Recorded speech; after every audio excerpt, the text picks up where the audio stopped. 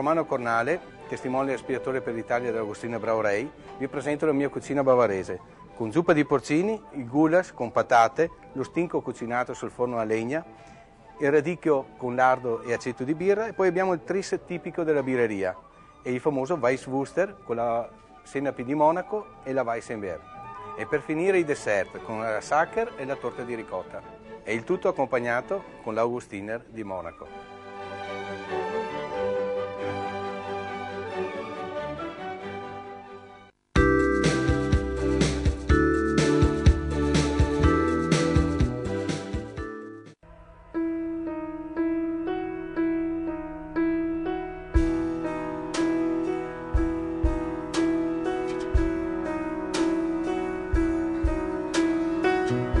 Il massaggio è una pratica antica come il mondo.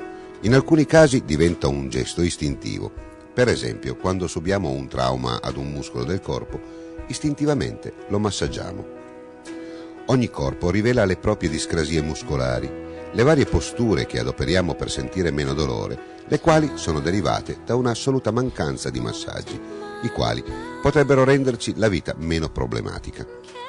Nell'antichità il massaggio era una pratica per persone molto facoltose. Oggi per fortuna le cose sono cambiate. Con una maggiore coscienza di se stessi ed un buon rapporto con il massaggiatore, il massaggio stesso può assumere l'importanza che merita. Dobbiamo altresì dire che il massaggio è un ottimo modo di prendersi cura di se stessi.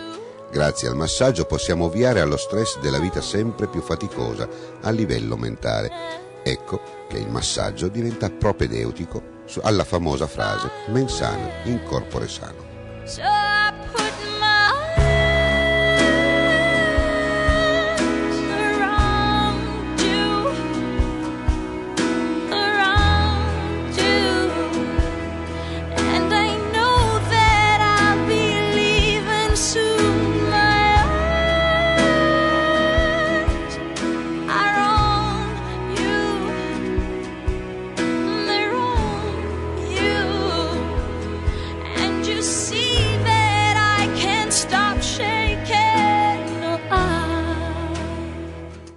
Massaggio che andrò ad eseguire aiuta a decontrare la muscolatura e a drenare per riattivare la circolazione sanguigna e linfatica.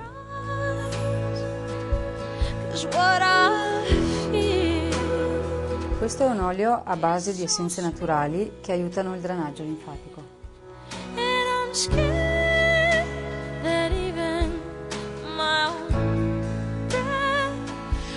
Massaggio non è solo una semplice forma di toccamento, facilitato da una crema o da un olio, ma piuttosto una complessa forma di comunicazione che investe entrambi i soggetti, con molti risvolti profondi sia a livello fisico che mentale.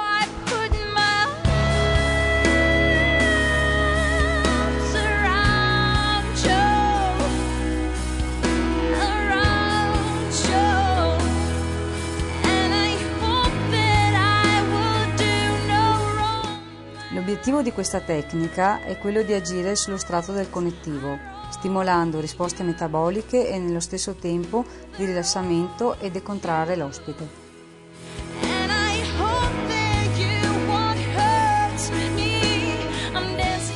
Cosa determinante è l'assoluta apertura mentale che ci può permettere di essere manipolati o toccati da un'altra persona in modo intimo, senza per questo essere particolarmente legati in maniera intima in qualche modo bisogna permettere al massaggiatore di violare il nostro spazio per noi così importante, senza che questa pratica ci crei delle tensioni tali da far emergere i nostri tabù.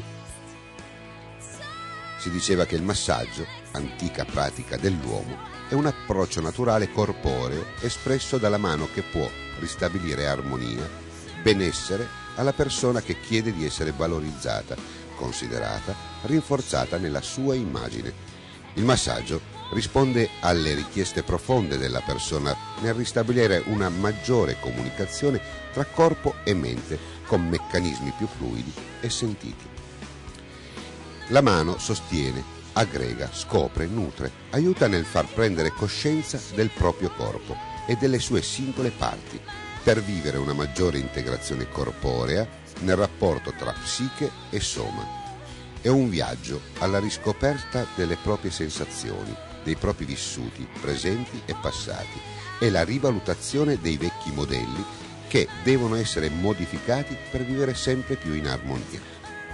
Il massaggio è un gesto d'amore verso se stessi e verso l'altro, è la via del cuore per conoscersi e comunicare più in profondità, per liberarsi dalle paure più nascoste, per vivere sempre più serenamente con il sorriso nel cuore e nella mente e poter regalare un po' di gioia. Il massaggio, che passa attraverso le mani, al di là della tecnica applicata, non può essere altro che una comunicazione d'amore. Significa insomma integrare la mente con il cuore per risvegliare capacità interne assopite. Il corpo rappresenta l'involucro entro cui noi viviamo l'intera esistenza, dove sperimentiamo le vicissitudini quotidiane, dove possiamo evolverci sempre più nei vari livelli di coscienza. Per questo deve essere sensibilizzato, liberato dalle tensioni per essere posto nelle condizioni di essere più ricettivo. Quando le tensioni si placano, lo spazio tra ciò che siamo e quello che vorremmo essere si riduce ed entriamo nel presente in un nuovo spazio del sentire. Quindi, dopo un massaggio, rimani in ascolto di ciò che senti, rimani in ascolto di un gratificante stato di accettazione per ottenere gioia e quiete. Rimani in ascolto che qualcosa accade.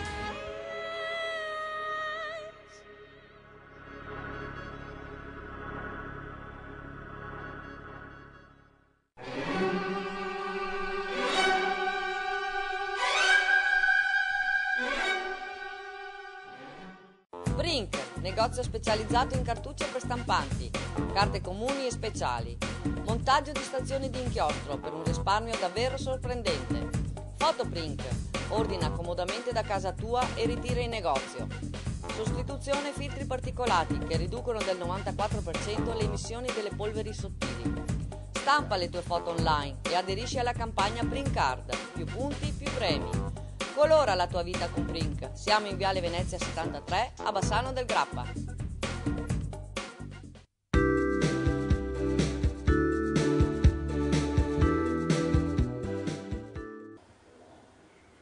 «33 anni di Gran Premio Comunità Montana del Brenta all'insegna della grande partecipazione dei comuni coinvolti in questo vero e proprio campionato dedicato alle due ruote. Premiazioni che si sono svolte presso la sala polivalente di Pove del Grappa alla presenza di molte autorità politiche e sportive, la serata è iniziata con la proiezione dell'intervista effettuata all'interno del TG di Striscia La Notizia, dove un presunto ex corridore rilasciava una intervista con voce contraffatta e denunciava l'uso del doping nel ciclismo, iniziando dalle categorie giovanili, cioè bambini dai 7 anni in su, per poi proseguire fino ai professionisti.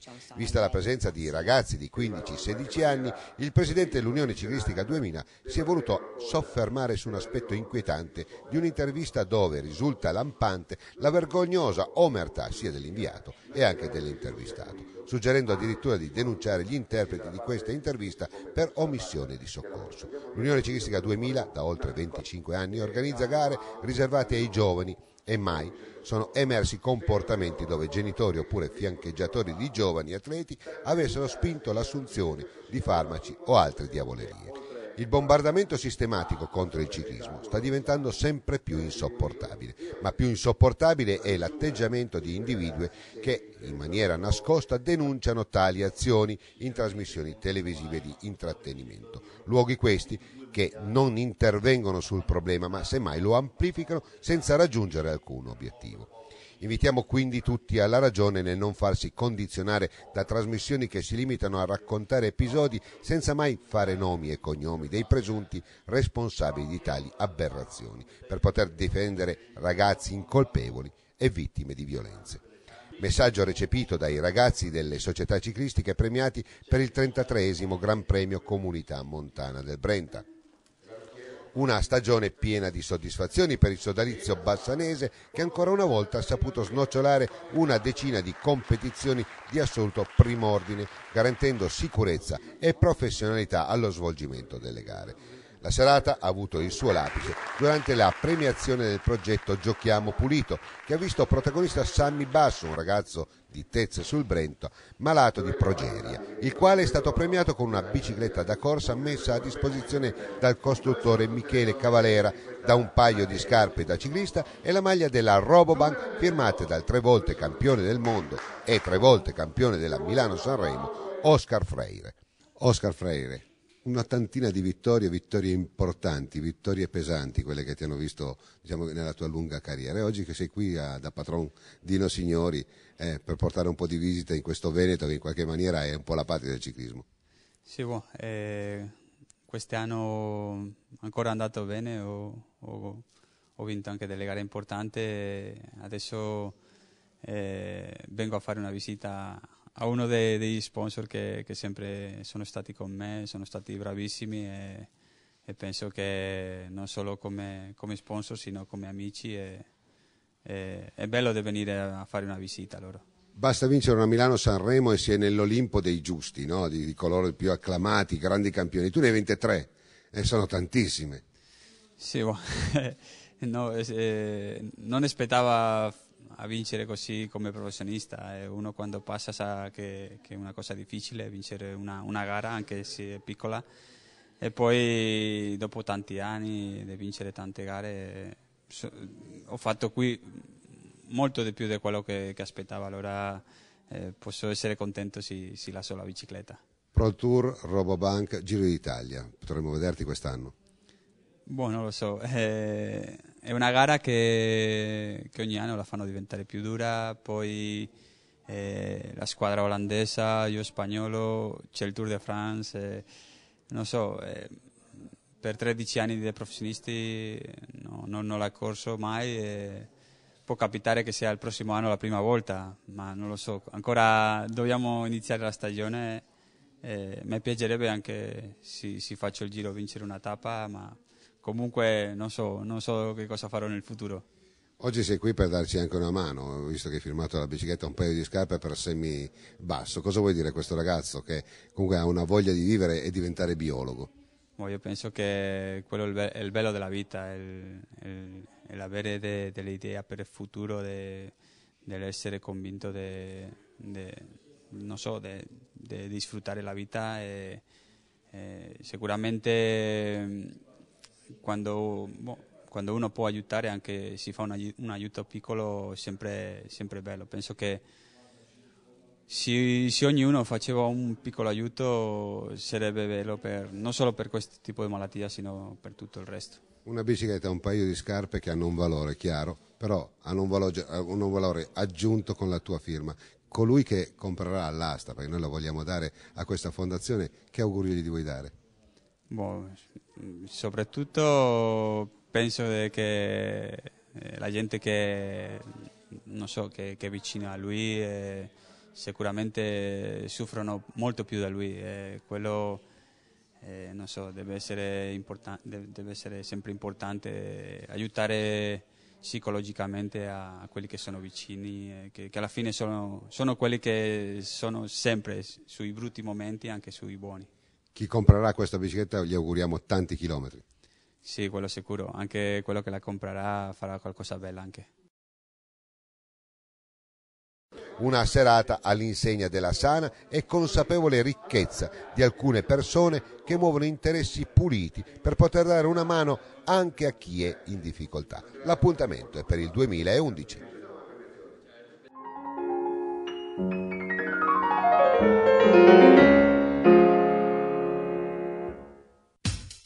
Centro Servizi Autofficina Sandri, specializzati in autodiagnosi elettronica a filoscopio per accensione, con tecnici specializzati e attrezzature d'avanguardia. È in grado di offrire servizi per il mantenimento dei perfetti livelli di sicurezza e di funzionalità del vostro autoveicolo. Autofficina Sandri la trovi a Belvedere di Tezze sul Brenta. Centro Revisione Autofficina Sandri, la puoi trovare anche a Bassano del Grappa in via Schio 5, laterale di via Pecori Giraldi.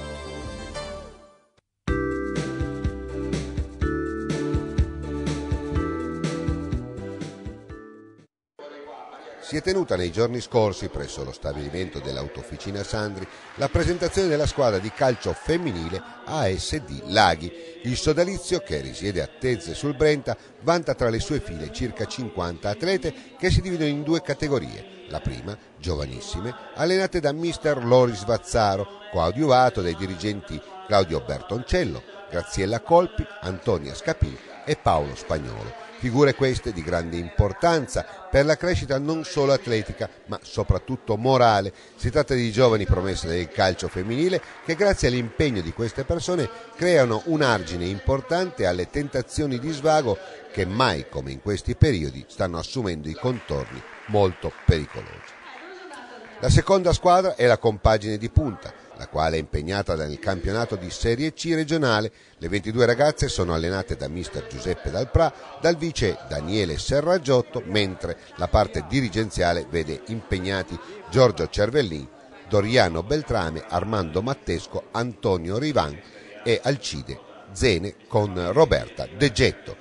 La presentazione ha visto in prima fila il signor Adriano Lago, titolare dell'azienda Autofficina Sandri, che proprio a Tezze ha la sua base strategica, oltre ad un'altra realtà a Bassano del Grappa. L'autofficina Sandri per l'occasione ha messo a disposizione tutto il vestiario che serve ad una società importante come la SD Laghi. Sodalizio, presieduto dall'infaticabile presidentessa Maria Grazia Mattesco, che nel dicembre 2009 è stata premiata con il premio alla carriera e attualmente delegata per il calcio femminile veneto nel comitato di Bassano del Grappa. All'evento erano presenti molte autorità che spezzavano in ambito sportivo con la presenza del campione bianco-nero Dino Baggio, dal presidente del Cittadella Calcio Andrea Gabrielli e a salutare la compagine veneta anche il comandante dei carabinieri di Rosà Vincenzo Chienchese, più i vari sindaci come Igor Rodighiero, sindaco di Enego, il sindaco di Tezze sul Brenta Valerio Lago ed il vice sindaco di Fontaniva Lorenzo Piotto. Da parte nostra un caloroso augurio a queste ragazze che attraverso lo sport potranno trovare risposte concrete su come affrontare la loro vita futura.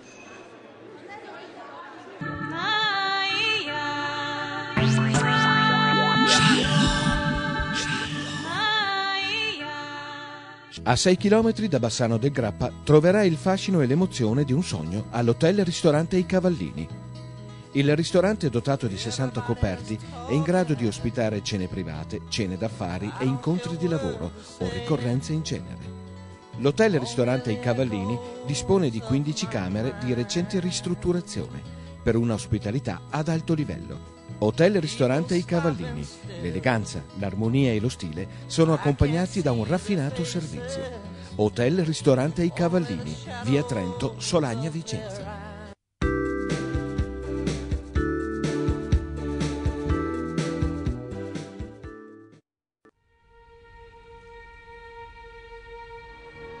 Il sacrario militare di Asiago sorge sul colle Leiten a quota 1058 nella città omonima. Venne progettato dall'architetto Orfeo Rossato di Venezia ed è stato ultimato nel 1936. Il monumento è a pianta quadrata ed è composto di due parti essenziali. La parte inferiore a base quadrata con lato di 80 metri che costituisce la vera e propria cripta, dove in gallerie sono ospitati i loculi con i resti dei caduti. Le gallerie convergono al centro, alla cappella ottagonale, dove sono collocati i resti di 12 medaglie d'oro al valor militare. La parte superiore, costituita da un grande arco trionfale alto 47 metri con scalinate larghe 35. Al centro dell'arco è stata posta una simbolica ara votiva si accede alla struttura tramite una scalinata che termina in prossimità di una cancellata in ferro battuto. Nel sacrario riposano i resti di 33.086 caduti italiani, raccolti dai 35 cimiteri di guerra della zona. I 12.795 caduti identificati sono sistemati in loculi singoli all'interno delle gallerie in ordine alfabetico. I 21.491 caduti ignoti sono raccolti in grandi tombe comuni poste lungo le gallerie assiali.